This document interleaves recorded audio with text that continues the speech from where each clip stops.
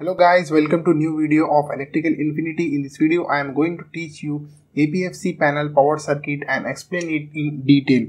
So in APFC panel, we use capacitors. So first of all, I am going to show you the standard sizes of capacitors. So the standard sizes of capacitors are 5 kVAR, 10 kVAR, similarly 15, 20, 25, 30, 40 50 kVAR and last is 100 kVAR but this 100 kVAR capacitor is very less available. So these are the standard sizes of capacitors.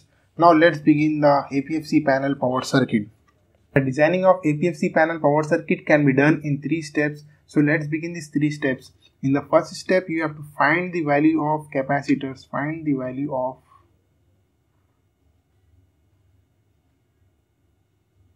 capacitors right?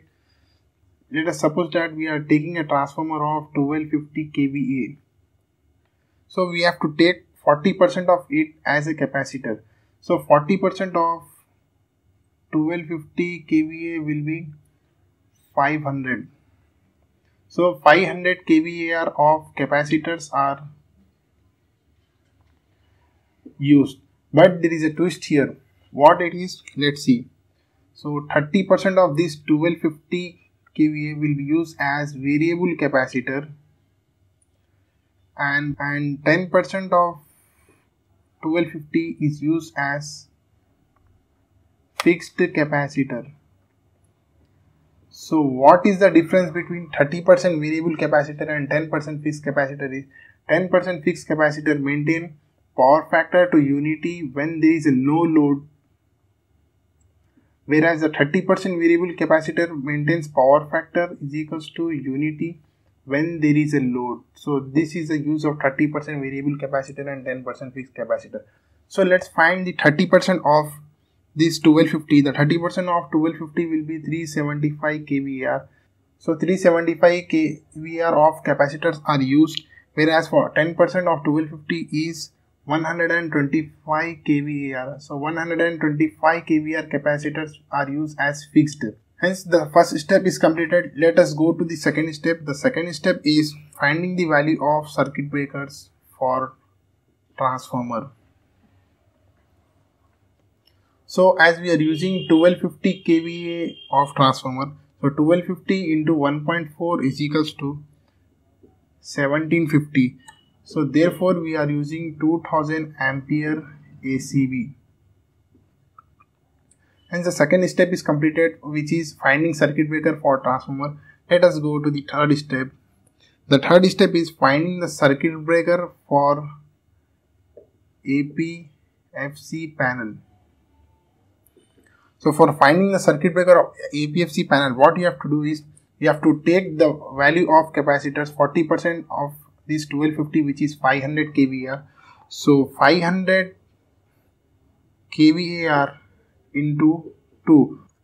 Why we are using these two? This one is a thumb rule. Let us see this thumb rule. As we know that P is equals to root 3 VI sine 90 so we get the value of i as i is equals to p by root 3v sine 90. So substituting the value as i is equals to power as 1. So 1 into 1000 divided by root 3 into voltage is 440 440 into sine 90. So after substituting the value we get this value as 1.31 ampere.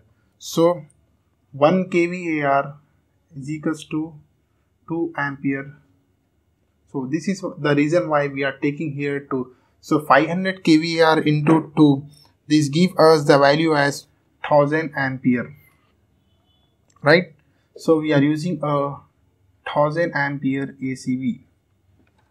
So here you can see we have used a 1250 kVA transformer 40% of 1250 kVA is 500 kVAR of capacitor. So 30% variable capacitors are of 375 kVAR and 10% fixed capacitor are 125 kVAR. the circuit breaker for transformer we are using is 2000 ampere ACB and circuit breaker for APFC we are using is 1000 ampere ACB. So let's draw this here. So here you can see we are using a transformer of 11 kV by 440 so 11 kV by 440 volts. 1250 kVA transformer. So for 1250 kVA transformer we are using 2000 ampere ACB so let's draw it here. 2000 ampere ACB 2000 ampere ACB now we are taking the circuit breakers for APFC panel. So what we are doing here is we are taking a 1000 ampere 2000 amperes 2000 ampere ACBs here ACB right let us begin the designing of circuit breaker for APFC panel. As you can see here, we have got a 10% fixed capacitor and 30% fixed capacitor. Please note that for fixed capacitors, you have to use only circuit breaker. Whereas for variable capacitor, we have to use circuit breaker as well as CDC, which means capacitor duty contactor. Right? So let us first design the fixed capacitors. So as you can see, we have got a fixed capacitor as 125 kVAR so here is the procedure for drawing it. Take one circuit breaker here and capacitors directly. As we know that the capacitor value is 125 kVAR so we have to use 250 kVAR of capacitors here according to the standard sizes. 250 kVAR of capacitors right? Now what will be the value of circuit breaker here? So we have to multiply this uh, capacitor value by 2 so 50 plus 50, we are using 100 kVAR capacitor total. So 100 into 2. So we are using a 200 ampere MCCB here. Hence you can see we have only taken 100 kVAR of capacitor. The remaining capacitor value for fixed is 25 kVAR. So let us take one more 25 kVAR capacitors, circuit breaker here and a 25 kVAR capacitor.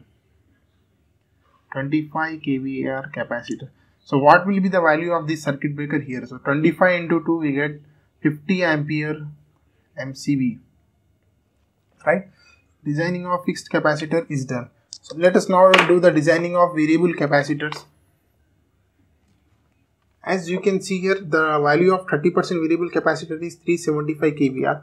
So you have to use circuit breaker as well as CDC for variable capacitor. Now let us take 250 kVAR of capacitor we have to use circuit breaker as well as a CDC here plus capacitors.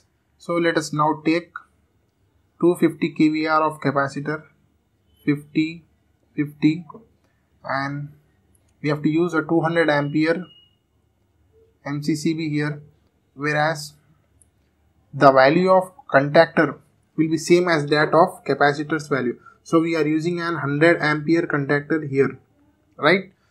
So 100 kVAR capacitor 100 ampere contactor and 200 ampere circuit breaker right? So you have to distribute these capacitors so on so that you get the value of variable capacitors as 375 kVAR. So let's do it. So here you can see I have done the designing of variable capacitors 100 plus 100 plus 100 300 plus these 325 kVAR of capacitors is equals to 75 so 300 plus 75 is equals to 375 kVAR of variable capacitors. So these are the variable capacitors of 375 kVAR. This is how the capacitor designing is done. Now let us do the connections of this capacitor to APFC relay. So here you can see this one is an APFC relay and it has maximum terminal as 8 here for connecting capacitors or CDCs as you can see here and it has S1 and S2 which is connected to CT for measuring current to see whether it is lagging or not. So CT is connected here and it is connected to S1 and S2 whereas here you can see the phase and neutral this one is an auxiliary supply so one of the phase is taken from here and is given here and a neutral is also given here and a 230 volts auxiliary supply is given to APFC relay through a single phase. So here you can see there are 8 terminals and CDCs are connected to these 8 terminals. As you can see here the fixed capacitor, the fixed capacitor is not connected to APFC relay whereas the variable capacitors are connected to APFC relay. So how you have to connect is from capacitor from CDC 1 you have to connect it to terminal 1 and this one should be connected to neutral right and from CDC2 it is connected to second terminal of APFC relay from CDC3 it is connected to third terminal of APFC relay and similarly to fourth terminal of APFC relay. And so on. If you have more CDCs you can connect here the more CDCs uh, the maximum amount of CDCs you can connect is 8 so we have to distribute this variable capacitor in such a way that we use maximum of 8 CDCs in this APFC panel. Second terminal of this is connected to neutral. These all are shorted and is connected to neutral this is how the APFC panel power circuit is designed here you can see we have used a 1250 kV of transformer and we have done the circuit breaker calculation for that and we have got 2000 ampere ACB for 1250 kVA transformer and after that we are using 2000 ampere ACBs for APFC panel. So here you can see why we are using here two ACBs. So these two ACBs remain in one panel and this ACB comes under this APFC panel right. So this is the reason why we are using two ACBs after that here you can see we have distributed fixed capacitor and variable capacitors according to their values. So the value of fixed capacitor was 12 125 kVAR. So here you can see 50 plus 50 100 100 plus 25 125 kVAR of capacitors are used for fixed and for selecting circuit breaker we have to multiply this total value by 250 plus 50 100 so 100 into 2 200 ampere. So we are taking 200 ampere MCCB whereas for 25 kVAR we have to multiply it by 2 again and we are using 50 ampere MCB here right? For variable capacitor we have to use CDC as well as circuit breaker. Whereas for fixed capacitor we have used only circuit breaker. We have not used CDC which means capacitor duty contactor so here you can see we have connected a circuit breaker CDC and capacitors. So we have got the value of variable capacitor as 375 kVAR right so we are distributing this here in such a way that we use maximum of 8 CDC so that the 8 CDCs can be connected to APFC relay. If the CDCs are more, which is 9, we cannot connect it to APFC relay. Right, so we have to distribute these capacitors in such a way that we get maximum of 8 CDCs. So we have got the value of variable capacitor as 375 kVAR. So I have distributed here in such a way that 100 plus 100 plus 100, 300 plus 75. So 375 kVAR of capacitor is balanced using 1, 2, 3 and 4 CDCs. So the value of CDCs we are selecting is same as that of capacitor value. So 100 kVAR capacitor we are using 100 ampere of CDCs.